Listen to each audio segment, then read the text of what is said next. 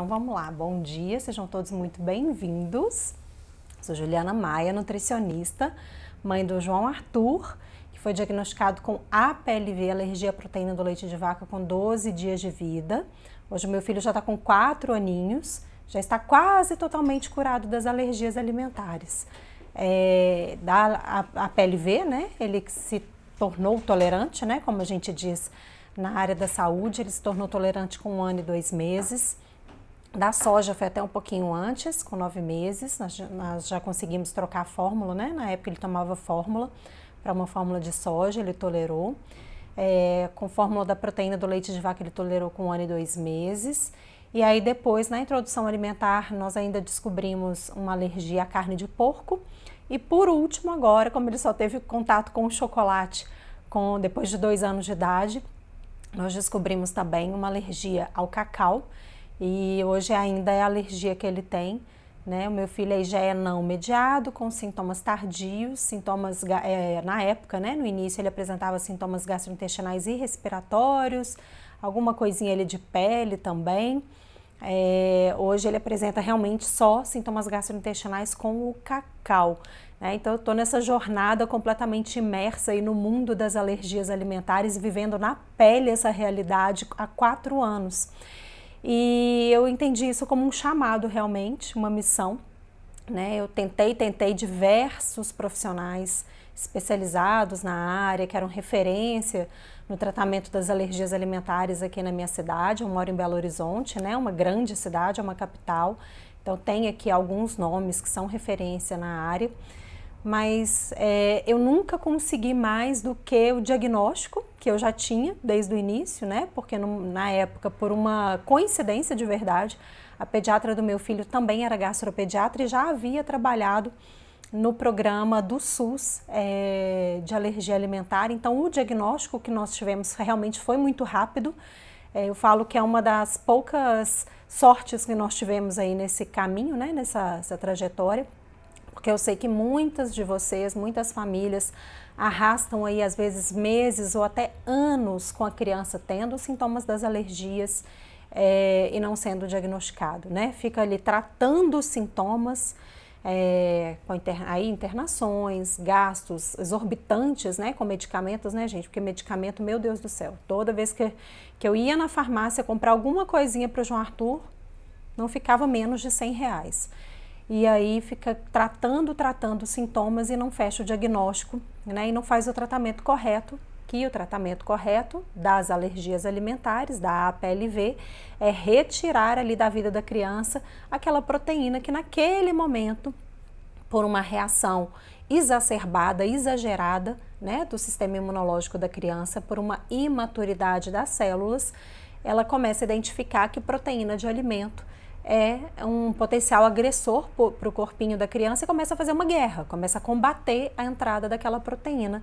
E aí aparecem os sintomas, que podem ser de pele, do trato respiratório, com infecções respiratórias de repetição, um chiado que está ali sempre presente, né? inflamações na pele, como a dermatite atópica, pode ter aquelas reações mais rápidas, imediatas, que acontecem em até duas horas, como placas vermelhas que levantam em várias partes do corpo, inchaço do corpo, né? Geralmente as partes mais molinhas incham mais, boca, olhos. É, pode ter também os sintomas gastrointestinais, como diarreias, é, que não, não param por nada, ou uma prisão de ventre, uma constipação intestinal aí que vai se arrastando muco, né, que é uma clara de ovo que parece que sai misturada ali com junto com as fezes, aquilo o intestino produz né, como uma camada de proteção, tentando impedir mesmo que aquela proteína é, do alimento ali seja absorvida pelo corpo. Então ela pode sair ali misturada com as fezes.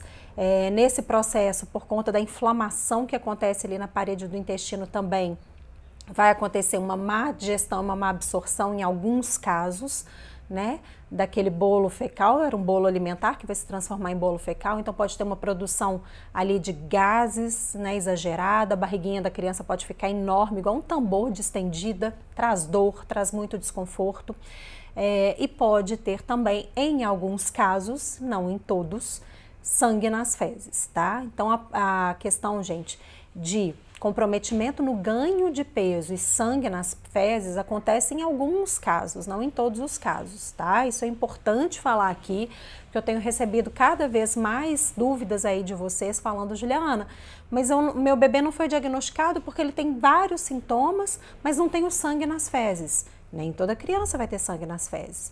Juliana, mas o meu bebê tem os sintomas, mas o médico falou que porque ele ganha peso, ele está na curva do ganho de peso, às vezes está até crescendo bastante, né? Está acima da média para ganho de peso, então ele não poderia ser a PLV.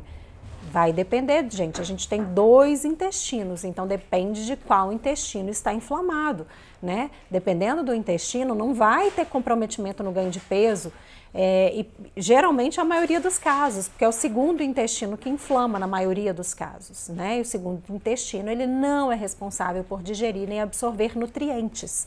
Ele é responsável por reabsorver água e sais minerais ali daquele, né, daquele bolo alimentar e está se transformando num bolo fecal. Então a criança vai ter as, uh, os sintomas intestinais, mas não vai ter comprometimento no ganho de peso, tá? Então isso é importante vocês ficarem atentas aí. Eu sei que tem muitas famílias, muitas mamães aqui que me seguem, que ainda não têm o diagnóstico fechado, tá aí observando a criança fazendo sintomas e não tem o diagnóstico fechado, né? Então é, acontece tudo isso na criança e aí a gente vai procurar os profissionais.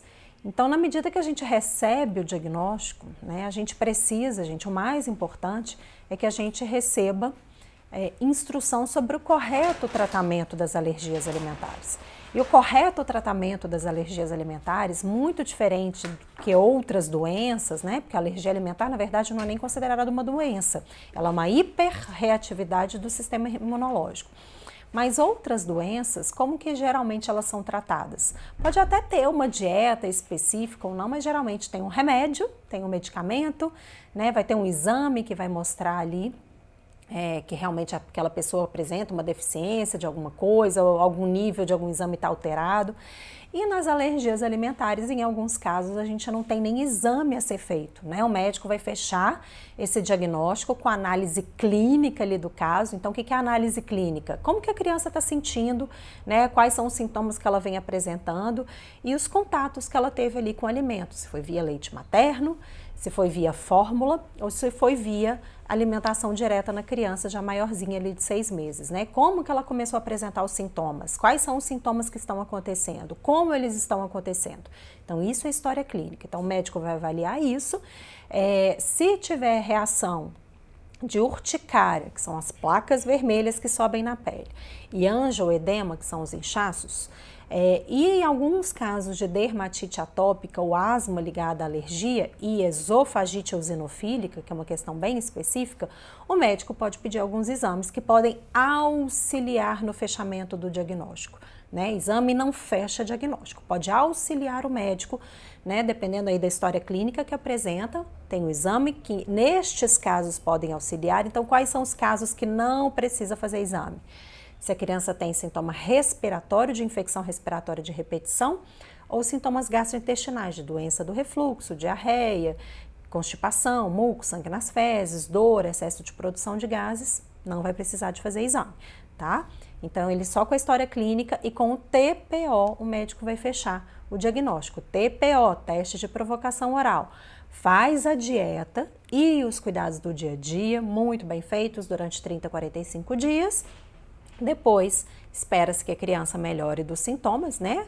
Desde que tudo seja muito bem orientado, muito bem aconselhado. Vou falar sobre, um pouquinho melhor sobre isso.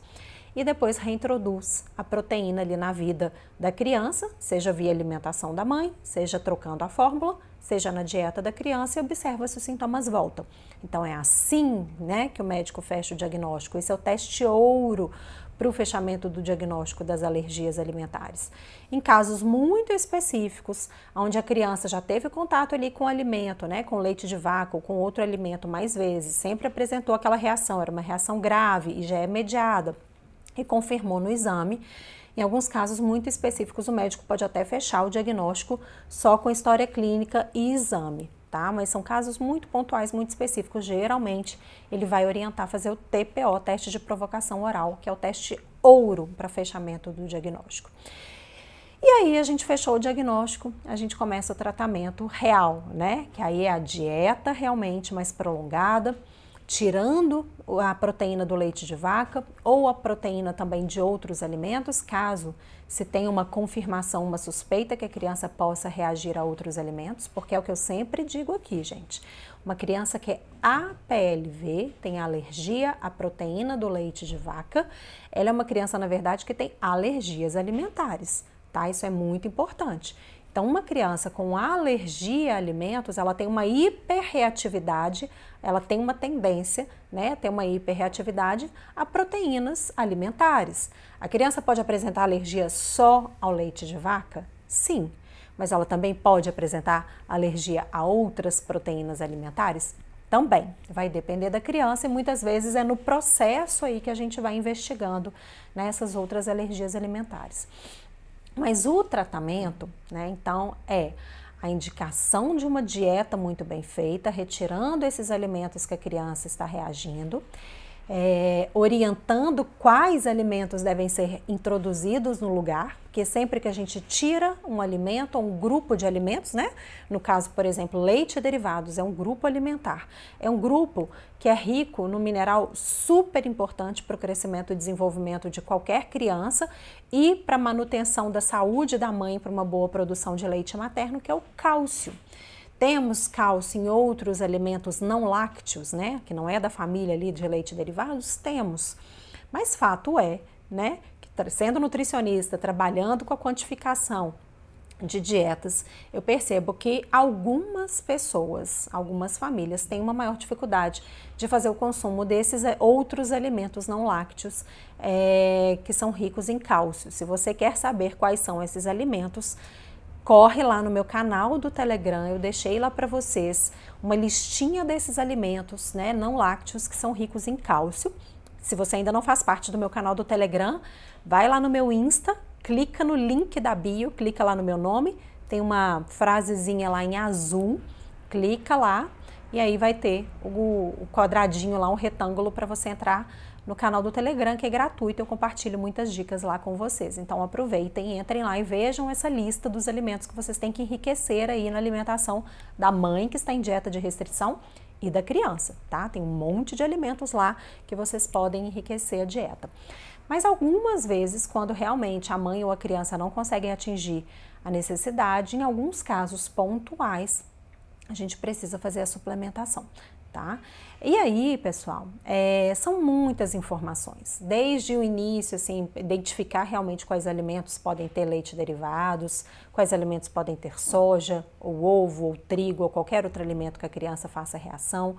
É, ensinar a leitura de rótulos, ensinar que não é só em alimentos, né, que contém a proteína alimentar. Então, quais outras substâncias, quais outros produtos podem ter a proteína do leite de vaca, como fazer a leitura desses rótulos ou bulas, né, como identificar quais marcas são seguras, quais marcas não são, é, como evoluir o tratamento, né? É, como identificar realmente se a criança está começando a fazer reação alérgica a outro alimento ou não. Então, são vários e vários processos que a gente tem que entender, né? Como fazer a evolução da fórmula, qual fórmula é mais indicada, é, como fazer os TPOs, testes de provocação oral, que são, devem ser instruídos pelo médico né, para avaliar a tolerância, mas tem alguns casos que ele libera fazer em casa. Então, como fazer essa reintrodução dos alimentos aí de forma mais segura na criança? Então, são várias e várias e várias dúvidas e são muitas informações. Então, o que, que aconteceu? Né? Na medida que eu comecei a atender, é, que eu comecei a me aprofundar e trabalhar realmente, que eu mudei toda a minha vida profissional para atender famílias de crianças com alergia à proteína do leite de vaca e outras alergias alimentares, que eu comecei a perceber é que consulta de meia hora, uma hora, a cada 30, 60 dias eram completamente insuficientes para que eu conseguisse passar todo o grau de conhecimento, todas as informações necessárias. São muitas informações, são vários âmbitos, são várias questões. E fora a questão alimentar, tem a questão psicológica, emocional, tem a parte também social. Então, quais os cuidados que a gente deve ter com a criança? quando vai em uma reunião social, numa festa, em viagens, quando a criança entra na escolinha, né? São vários âmbitos, são muitas informações. E ficava completamente insuficiente, né? A consulta acabava, é, eu entupia ali às vezes a família de informações. Aquelas informações a gente precisa de um tempo para assimilar. Na medida que o dia a dia vai acontecendo, as dúvidas vão acontecendo o tempo inteiro, o tempo todo. Muitas vezes a gente nem identifica que aquilo poderia ser um risco, poderia ser um furo, poderia ali estar tá acontecendo um contato não intencional né, com o alimento, com a proteína, porque a gente não tem ainda a total consciência é, dos perigos né, nesse, nessa jornada, nesse caminho, que é um caminho até a tolerância de altos e baixos, de muitas dúvidas, é, de vários percalços aí que podem acontecer. Então, Muitas vezes a família ia para casa com algumas informações, na medida que o dia a dia ia passando, ia gerando um monte de dúvidas.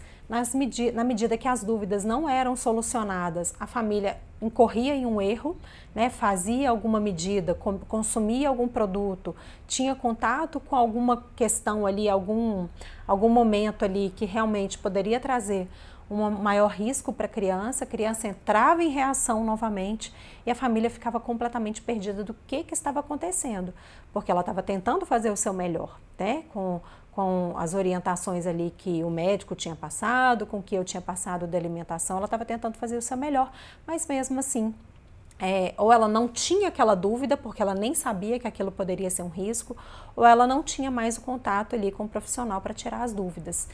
E aí, na outra consulta, depois de 30, 60 dias, né, dependendo ali do quando a, a, família conseguiria voltar no consultório, porque ainda tem, né, gente, toda aquela questão de sair de casa com bebê ou criança, né? Às vezes é a família estava em outra cidade, então tinha que viajar para chegar até no meu consultório.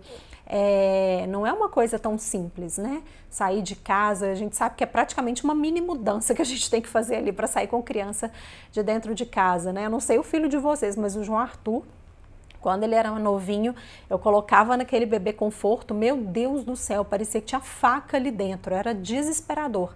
Né? O menino chorava do início ao fim ali da, do trânsito, da jornada. Às vezes a família tem que pegar transporte público, tem que pegar um táxi, depende de carona, né? É, o consultório é longe, é distante, aí chega lá no consultório, consultório lotado de gente um tempo enorme ali para ser atendido, né? Dependendo aí do consultório que vocês vão, dependendo do profissional. Dependendo do profissional, atende emergências, então vão tendo os encaixes. E eu já cheguei a ficar, gente, um consultório de pediatra ali, esperando consulta, sem brincadeira, uma hora e meia com uma criança. E é enlouquecedor, né? Tem, ainda tem essa, essa parte da espera ali no consultório. Então eu comecei a ver que esse processo era extremamente desgastante e que não era tão efetivo. Né? É, e entender, atender no individual, atender consultas não era tão produtivo. Então, dentro do meu programa online, né, eu criei esse programa online de atendimento a, a famílias de crianças com alergia alimentar, para orientação da dieta, dos cuidados do dia a dia, é, retirar as dúvidas. Quando eu comecei é, esse projeto, há um ano e meio atrás, eu atendia, eu dava as orientações, né? A gente tem, eu fiz toda uma parte de videoaulas, porque são várias orientações, são várias nuances, várias dúvidas. Então tem toda uma base de videoaulas com a parte teórica. Então são nove módulos, mais um módulo bônus. Cada módulo geralmente são vídeos curtinhos, bem objetivos, né? Separados por tópicos, porque a família já vai ali exatamente naquele ponto que ela precisa tirar a dúvida. Mas nem cada módulo tem em torno aí de 8 a 11 vídeos, né? Vídeos é, com temas específicos. Maravilha! Então tem toda essa parte de conteúdo ali, já que a família tem acesso. Além disso, eu tirava as dúvidas de forma individual né, para essas famílias. E aí o que, que eu comecei a ver? Que as dúvidas de uma família eram exatamente iguais às dúvidas de outra família. Que a dúvida de uma família, um ponto que uma família levantava, iria ajudar demais a solucionar ali as dúvidas daquela outra família. Às, às vezes uma mãe estava incorrendo num erro que a outra mãe já havia percebido. Então, e aí elas não tinham contato, não tinham essa troca. E eu comecei a ver que a coisa ficou é, né, o quadro, às vezes, da criança ali de reação alérgica ficava se arrastando, porque as dúvidas vinham pontuais e eu tirava a dúvida na medida que a família tinha, mas às vezes a família nem entendia que aquele era um processo que não estava sendo feito de forma adequada, que aquilo ali poderia exatamente ser o furo que ela estava causando, enquanto outra família já tinha entendido, já tinha me feito a pergunta, eu já tinha respondido e a gente já tinha conseguido adequar o tratamento. Então eu falei, gente, eu vou juntar todo mundo. O tratamento né, e as dúvidas, elas têm que ser tiradas em grupo porque a dúvida de uma família, de uma mãe, é extremamente importante e necessária para eu ajudar essa outra família. E quando eu coloco todo mundo para interagir e, e, eu vou conseguindo dissolver essas dúvidas e fazendo o acompanhamento em grupo, é muito mais efetivo. Falei, bom, tive a ideia, vamos testar para ver como é que na prática isso vai funcionar. E foi realmente assim a transformação é, né, de como eu conseguia objetivos de estabilização dos sintomas da, das crianças, né, que elas parassem de fazer as reações alérgicas, tanto de pele, quanto gastrointestinais, quanto respiratórias. Foi incrível a rapidez como é, conduzir as famílias em grupo né, em reuniões online, mas que todo mundo se via, se escutava. Eu fazia um resumo ali a cada dois módulos do programa, então eu ia junto com essas famílias, pegando na mão, né, acelerando o processo ali também de ter o contato com a informação correta, encontros semanais, online, todo mundo fazendo em casa. Então tinha mãe amamentando, tinha mãe cuidando das crianças, o pai conseguia participar né? É, é muito mais fácil fazer no, no, ambiente familiar, porque você não tem toda aquela despesa financeira e despesa de tempo, né, gente? Que é o que eu falo que são os, os bens mais preciosos aí de, de uma mãe de alérgico, que é tempo. Então a gente economizava muito tempo, a gente economizava ali também né, é, tempo para receber as informações, porque as informações chegavam de forma muito mais rápida em todas as famílias. Então a gente foi alinhando o tratamento e foi todo mundo seguindo junto. E a transformação que eu consegui ver é que as crianças começaram a estabilizar parar de fazer sintomas de forma muito mais rápida, em pouquíssimos dias ou semanas, dependendo do caso porque as famílias e as mães e os pais estavam ali comigo toda semana em conjunto, trocando informações, a gente ia tirando dúvidas em conjunto e aí eles conseguiam ter, às vezes, quatro vezes mais informações do que eles teriam em consulta no consultório individual a cada 30, 60 dias. Então, online é muito mais fácil, porque a gente consegue encontrar toda semana, a troca de informações é gigantesca, gigantesca, né? Se tiver alguém aí, ó, da, alguma das minhas alunas pode confirmar isso, como é incrível a troca em grupo. Eu não conseguiria passar o nível de informação que eu passo, tirar a quantidade de dúvidas que eu tiro. E a dúvida de uma mãe, uma família, gente, é, ela pode te abrir uma, um, um, campo de visão né, é, antes da sua dúvida acontecer. Às vezes a família já tem acesso àquela informação e ela não chegou nem naquela etapa. Por exemplo, introdução alimentar. A gente já tem as aulas de introdução alimentar, eu já vou tirando dúvidas para que na hora que a família for começar aquele processo, ela já tenha ali ó, o mapa todo aberto, né, o caminho mais curto e mais seguro como fazer o processo de introdução alimentar, diminuindo os riscos da criança reagir a outros alimentos. E para a gente fazer de forma correta, na medida que também a família consiga identificar, caso a criança reaja a outro alimento, efetivamente a qual alimento é, a criança está reagindo. Fora falar das reações adversas a alimentos também, que não são reações alérgicas, né? O tempo inteiro ali a gente está trocando dicas, informações, então as famílias têm muito mais segurança. Evolução de fórmula, TPO. Então, na medida que uma família tem uma dúvida, me pergunta, eu já esclareço e várias e várias vezes, gente, várias e várias vezes, quando eu esclareço a dúvida de uma mãe, uma família, né, em qualquer âmbito ali, em qualquer parte do tratamento a outra família fala assim: Juliana, eu estava fazendo isso errado e eu não, nem sabia que isso poderia ser uma coisa que poderia colocar o meu filho em risco. Né, que ali teria proteína do leite de vaca, que ali ele poderia sensibilizar, que ali poderia ser um outro alimento que no caso do meu filho poderia, eu teria que observar de uma forma é, mais de perto que ele poderia também fazer reação alérgica. E aí, em grupo, eu comecei a ver que os, os resultados começaram a vir muito mais rápido, as mães e as famílias começaram a ficar muito mais bem atendidas, muito mais seguras, as dúvidas particulares, individuais, que eu também respondo no programa, né, via plataforma, elas diminuíram drasticamente, então aquelas dúvidas repetidas, que às vezes demorava ali para até a mãe ter aquela dúvida, né? Às vezes já tinha incorrido naquele erro várias vezes, aí na medida, ah, será que isso aqui pode ser um problema?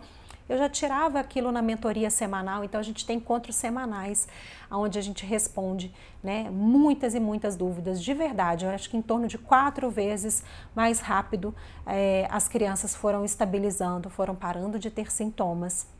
As noites voltaram a ser mais bem dormidas, a qualidade de vida voltou, né? E a paz voltou a reinar aí nos lares de forma muito mais efetiva, de forma muito mais rápida, porque o tratamento das alergias alimentares em conjunto, a troca de informações em conjunto é muito mais efetiva, é muito mais rápida e o online nos possibilita ter uma economia financeira absurda, porque não tem que ficar indo e voltando. E agora na pandemia, né, gente, nem se fala, a gente ainda tem a segurança completa e total.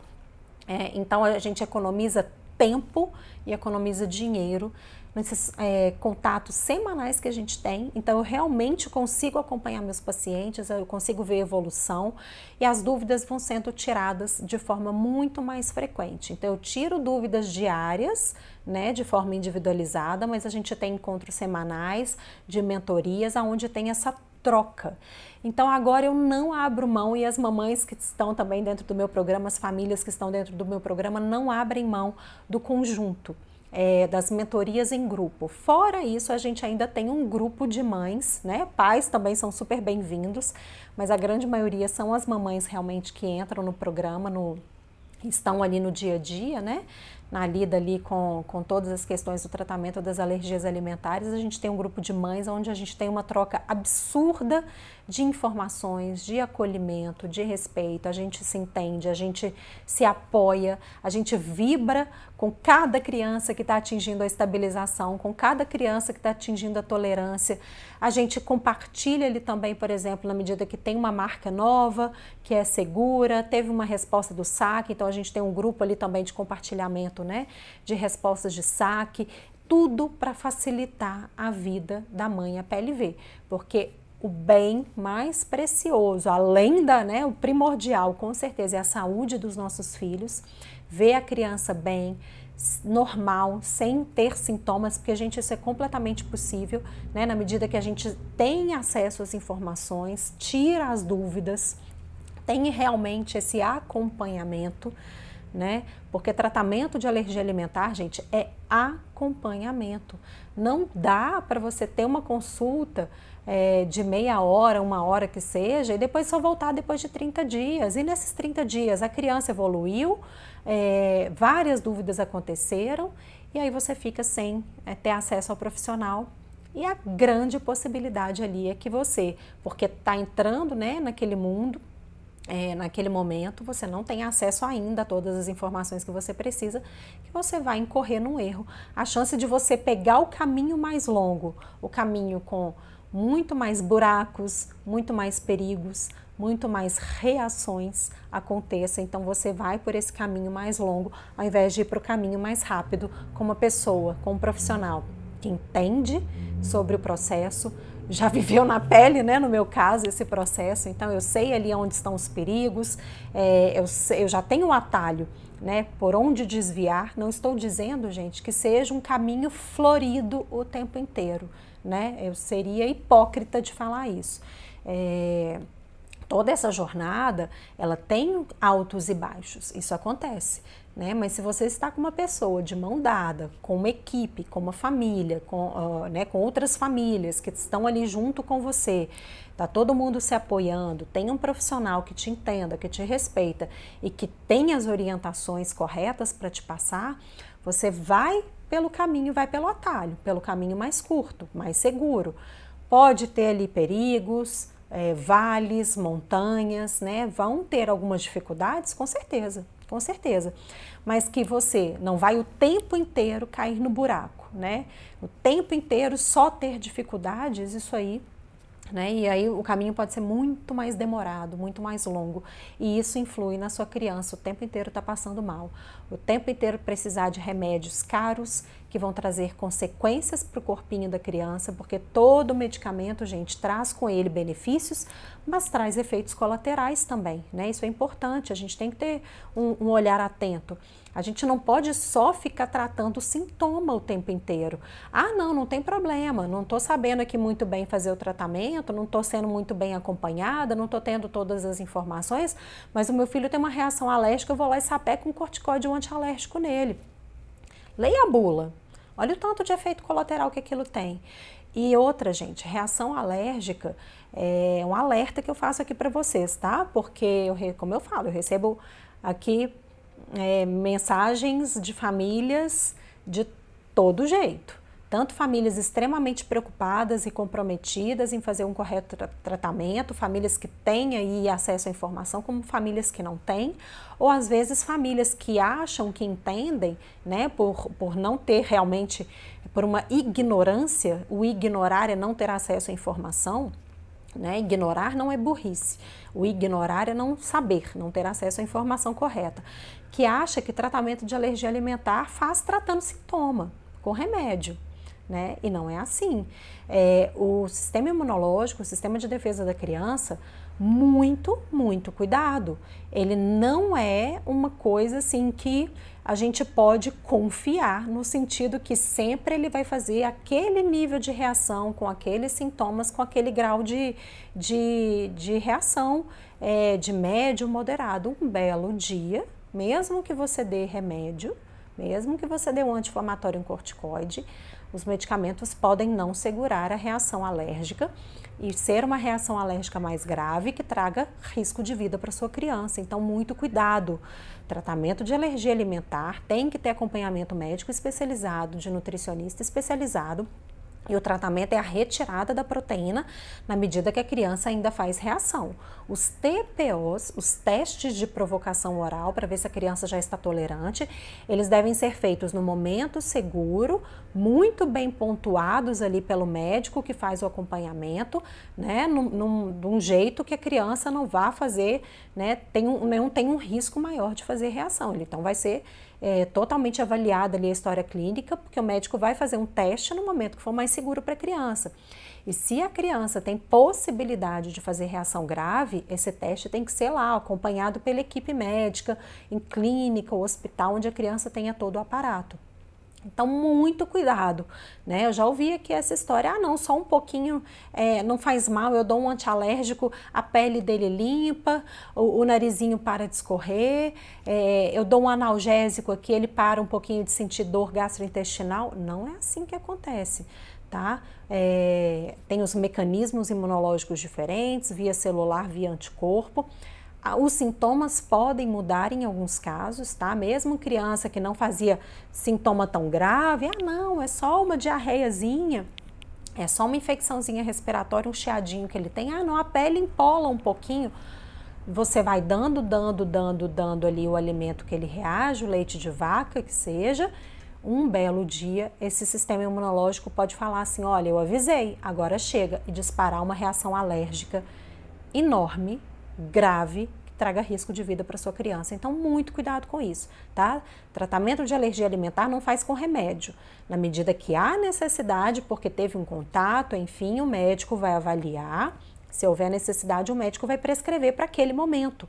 Mas não é o tempo inteiro fazendo o tratamento com medicamento. O tratamento é feito com dieta dieta de restrição e cuidados com o dia a dia, tá? Fiquem muito atentas a isso, por favor. Não tragam riscos desnecessários para a vida do seu filho. Eu sei que vocês não querem isso, né? Muitas vezes falta essa explicação. É, então, por isso que eu sempre tiro um pouquinho aqui do meu dia a dia, do meu tempo, para vir conversar com vocês porque muitas vezes eu não tive esse nível de, de, esclarecimento no início e eu posso ter colocado meu filho em risco aí, não por eu querer, mas por falta de informação né? E isso é muito importante, ter informação correta. É, então, gente, em grupo funciona melhor, Consulta de 30, 40, 50 um, minutos, uma hora a cada 30, 60 dias é completamente insuficiente porque as dúvidas acontecem o tempo todo.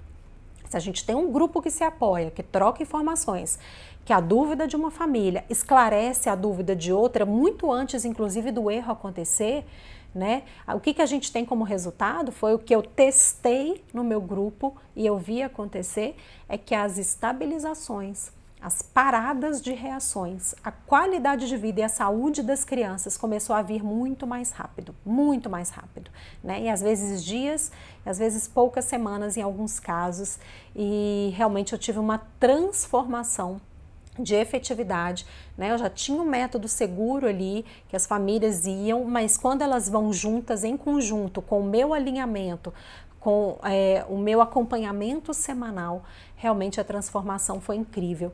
E aí eu tenho um, um, índice de estabilização realmente muito mais rápido e efetivo dentro do programa. E hoje eu não abro mão, e as famílias que estão ali comigo também não abrem mão de ter tudo isso, né? Ter um momento em conjunto. A gente tem as dúvidas individuais sendo respondidas, o tratamento sendo orientado de forma individual, sim, cada criança é única. Mas quando a gente faz as mentorias semanais, a gente expõe as dúvidas, eu faço o alinhamento, né? Eu faço sempre primeiro um resumo ali a cada dois módulos do curso, a cada dois tópicos que as famílias precisam entender e vem as dúvidas. A gente vai tirando as dúvidas, então um ajuda o outro e é incrível, incrível de verdade, tá? Então vou aqui agora é, responder as dúvidas de vocês.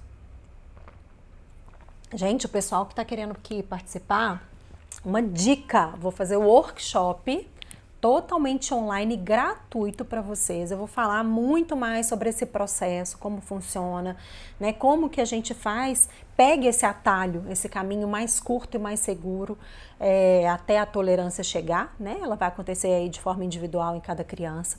Então, no workshop online, Jornada da Mãe PLV, do diagnóstico até a cura, vai acontecer agora, tá chegando, estou super animada. Entre os dias 13 e 19 de julho. Então, eu vou falar com vocês exatamente desse passo a passo que cada família deve seguir. Muito fácil. É, eu vou deixar no arrasta para cima do Stories, tem no meu site, julianamaianutriplv.com.br, para vocês se inscreverem gratuitamente, é tudo gratuito, tá? E tem no link aqui da minha bio também. Se inscrevam, compartilhem nos grupos de alérgicos que vocês participam. É, eu acho que toda, toda família de alérgico, a gente tem que ter isso como missão, né? Ajudar outras famílias, outras crianças a, esta, a estabilizarem, outras crianças a terem saúde, a outras mamães também a terem aí noites de sono mais tranquilas, terem paz dentro de casa, né? É o que eu sempre tento fazer aqui e eu peço essa ajuda de vocês mesmos a compartilhar essa informação de forma gratuita. Então compartilhem com todo mundo o link, pode pegar o link lá, copia, cola. Eu vou deixar no Arrasta para Cima também o link para vocês copiarem, colarem lá no, nos grupos. Compartilhem. É gratuita, é de graça. Estou fazendo com muito carinho. Vocês vão receber todo o material pelo e-mail cadastrado. A gente vai ter lives exclusivas onde eu vou tirar as dúvidas de vocês, vou fazer as orientações ali mais específicas, né, do tratamento de cada criança.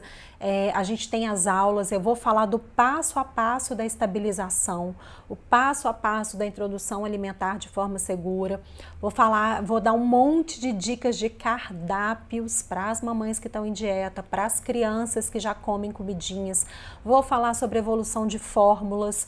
Então, colhem comigo entre os dias 13 e 19. Se vocês acham que eu dou informação aqui nas lives, me aguardem no workshop. Vocês vão ficar realmente assim maravilhadas, porque vai ser um compilado, vai ser uma semana ali, já marquem na agenda.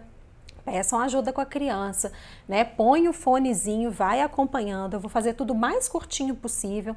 Vão ser aulinhas ali de meia hora, mas com muita, muita, muita informação prática para vocês colocarem no dia a dia, de verdade, tá?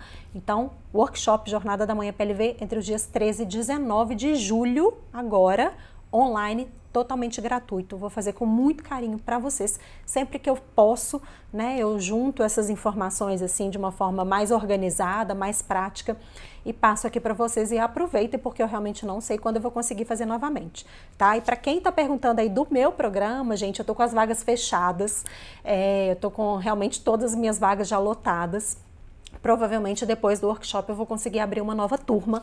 Então acompanhe o workshop, eu vou falar também um pouquinho sobre o programa, é, para quem tiver interesse, quem precisar realmente, né, é, quem quer ali enxergar a luz nesse caminho mais curto e mais seguro. Então no workshop vocês já vão ter uma clareza absurda desse processo, não percam essa oportunidade. E provavelmente depois do workshop eu vou conseguir abrir novas vagas, mas eu aviso aqui para vocês. Mas foco no workshop, é gratuito, é online, eu vou fazer para todo mundo. Compartilhem essa ideia, me ajudem a divulgar, porque é, é para todo mundo mesmo, é para ajudar, tá? Eu estou sempre aqui tentando ajudar o máximo que eu posso. Então vamos lá as perguntinhas aqui de vocês. Deixa eu só colocar, opa, o computador mais pertinho aqui, porque Juju tem 8 graus de miopia. 8 grauzinhos. Tem hora que a lente aqui, aí eu faço um zoom aqui para me ajudar. Vamos lá. Então, acho que ficou entendido aí, né, pessoal? Tratamento de alergia alimentar em grupo é sucesso e com acompanhamento, né? Dúvidas diárias sendo respondidas e acompanhamento semanal, mensal, bimestral, trimestral, isso não existe. É pedir para vocês ficarem perdidos, desorientados, os erros acontecerem, e erro quer dizer criança passando mal, criança em sintoma, e é isso que a gente não quer de jeito nenhum. A Amera perguntando aqui, Ju, minha bebê tem quatro meses, a PLV diagnosticada com 15 dias de vida, fiz a dieta e como nunca médico nenhum fez o TPO. Comi pão que tem leite ela não reagiu, porém percebi que ela reagiu à carne. É normal? Amera, o que, que acontece, gente? É, tem dois tipos de TPO, né? Tem o TPO para fechamento do diagnóstico e tem o TPO para avaliação de tolerância. TPO para fechamento de diagnóstico, o que, que é TPO? Quem não estava aqui no início? Teste de provocação oral. É o teste ouro para fechamento do diagnóstico que o médico vai orientar. Então, ele vai orientar, né? Ele teria que orientar a dieta e os cuidados do dia a dia muito bem feitos. Isso o nutricionista pode e deve auxiliar, tá, gente? Até para essa época do fechamento do diagnóstico. É muito importante para que a família saiba fazer aí o correto, a correta dieta e os cuidados do dia a dia. É, então, faz esse processo durante 30, 45 dias Sendo alergia, a gente espera que a criança melhore os sintomas, depois reintroduz a proteína ali na vida da criança, seja dieta, via dieta da mãe, quando as reações acontecem via leite materno, seja fazendo a troca da fórmula, quando a criança reage à fórmula, seja já na alimentação da criança, quando é uma criança maiorzinha, acima ali, né, leite de vaca mesmo, só acima de um aninho a gente vai dar para criança, tá? É, então, isso é 30, 45 dias depois do início dos sintomas, depois daquela primeira vez que você vai ali no médico. Se não fez nesse tempo, ficou ali às vezes 3, 4 meses para fazer TPO, concorda comigo que já não vai ser TPO de fechamento do diagnóstico? Porque nesse tempo, dependendo dos sintomas que a criança apresenta e dependendo da idade da criança, pode até ser que a criança já tenha adquirido tolerância.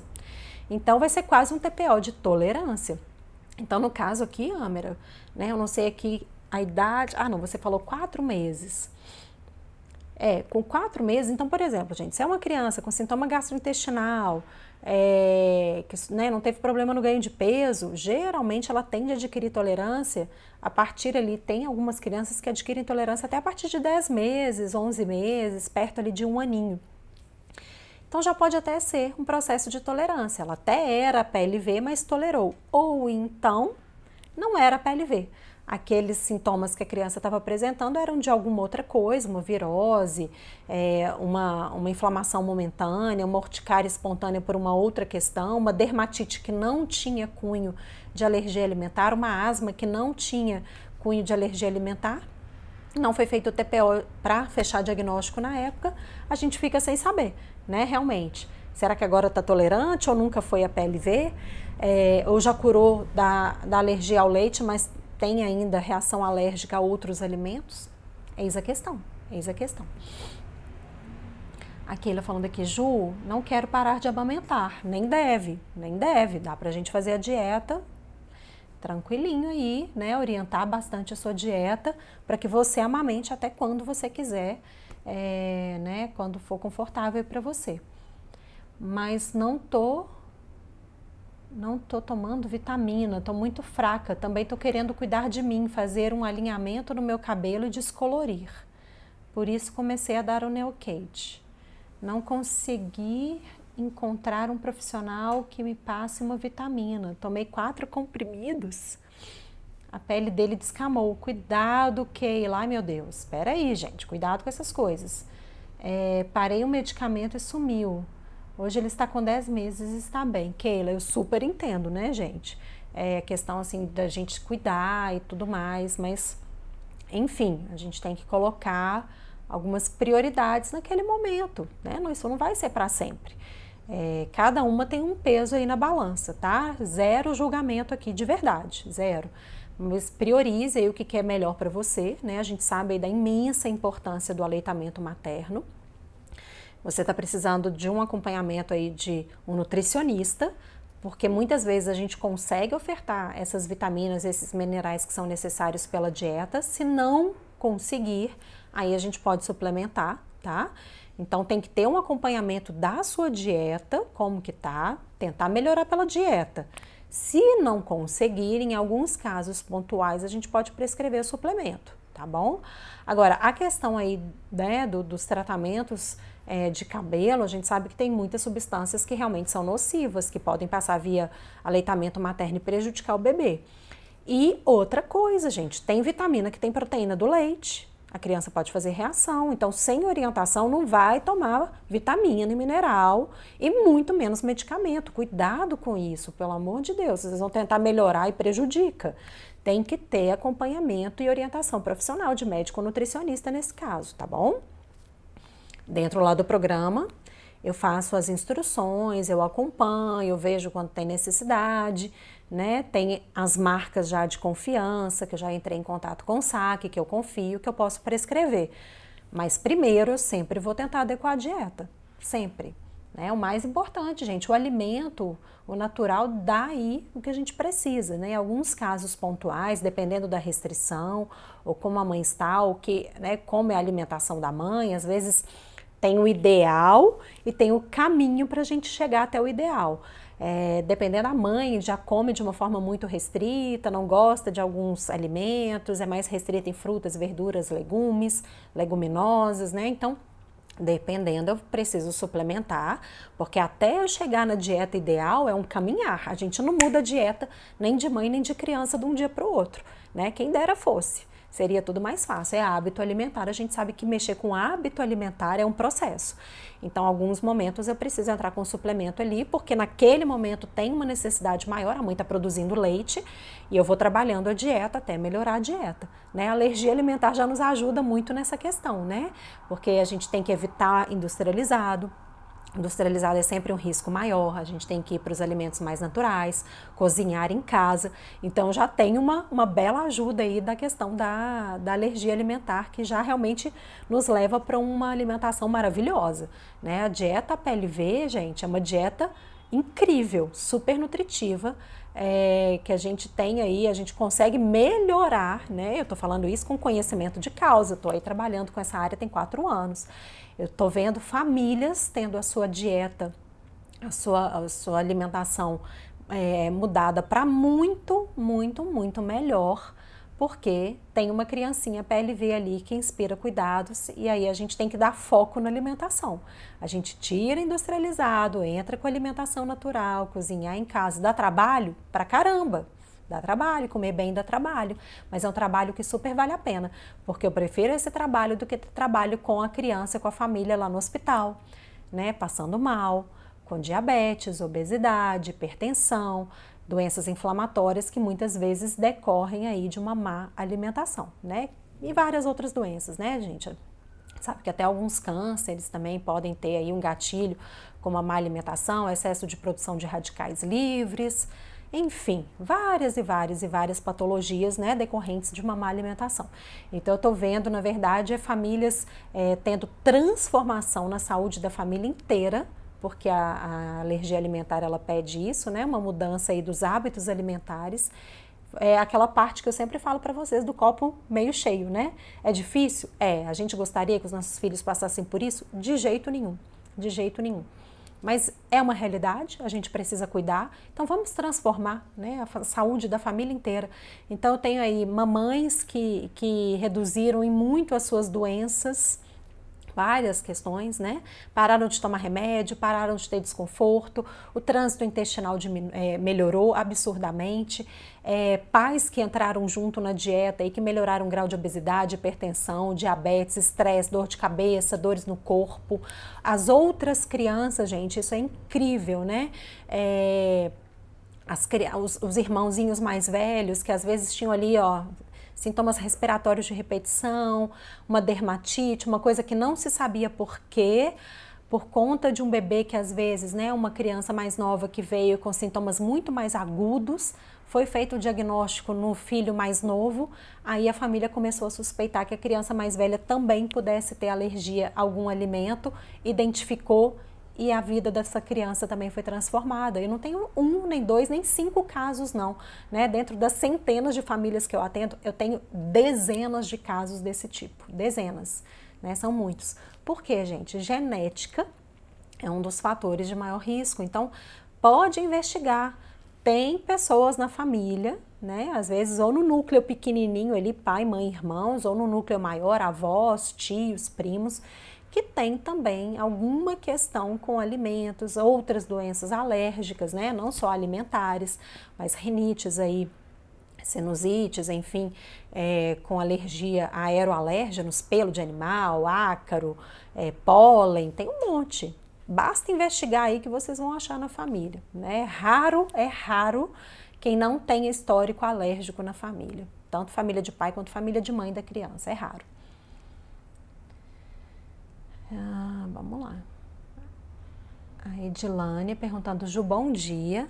Não sei mais o que fazer com meu filho. Estou fazendo dieta restrita de leite, ele não para de sentir desconforto, barriguinha distendida, ele é PLV intolerante a carboidratos. Edilane, o que, que acontece? Eu tenho até alguns pacientes nesse sentido também, né? É, a inflamação, quando é sintoma gastrointestinal, inflama tanto o intestino que pode ser que a criança, naquele momento, na maioria dos casos, tá? Tem casos pontuais que até podem ter aí alguma deficiência genética, de produção de enzimas, enfim, tem que ser investigado pelo médico.